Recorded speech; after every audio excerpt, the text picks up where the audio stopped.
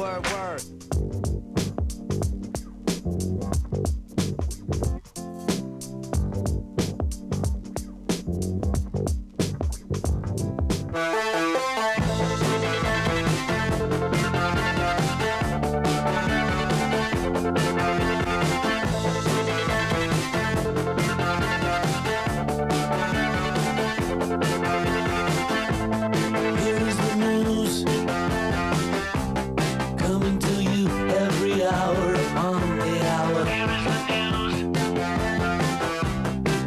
Fine, but there may be a meteor shower.